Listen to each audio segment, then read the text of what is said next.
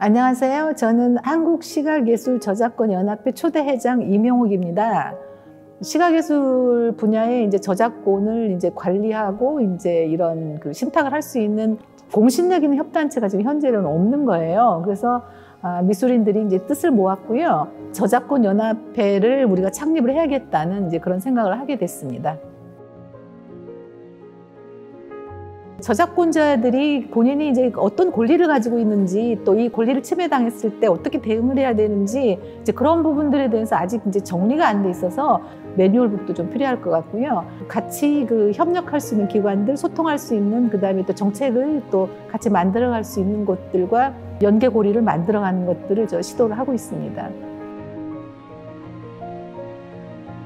시각예술 분야는 소유권과 저작권을 좀 지금까지 혼동하는 경우가 많습니다. 예를 들어 작품 사시는 분들이 소유권자인데 작품 사서 가지고 있기 때문에 이게 마치 저작권까지 다 갖고 계시는 걸 생각을 하셔서 그에 따른 굉장히 혼선이 많아요. 그래서 저작권에 대한 그 이런 것들을 허락을 받아야 되는데 소유권자한테 받는 그런 일들이 벌어지고 있고 지금 유통시장 안에서도 작품 사는 사람이 가장 중요한 그 역할을 하고 있고 정작 저작권자인 그 창작자에 대한 어떤 그 개념들은 정리가 안 돼 있어서 저희가 활동을 해야 되는 그런 어떤 근거가 되기도 합니다. 네.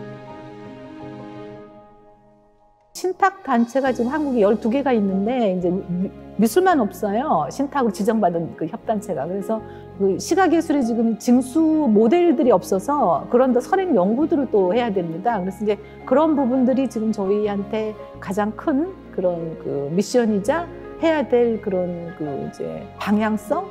그래서 조력자들, 제2의 이제 협력자들은 자기의 어떤 그런 창작 행위를 증명할 수 있는 그런 그 방법들이 지금 없는 상태인데 창작자와 창작자 간의 계약서 같은 것들 뭐 이런 것들 그 다음에 내가 몇 퍼센트 정도 기여를 했다든지 이런 것들이 음악에서는 굉장히 계량화가 돼 있는 반면에 미술은 아예 그제 그런 개념 조차가 지금 없어서 이제 그런 부분들도 뭐 저희가 집중적으로 해야 될 그런 이제 일이라고 생각을 합니다. 저희가 권리자의 그 이제 고난을 위임을 받아서 이제 많은 일을 할 텐데요.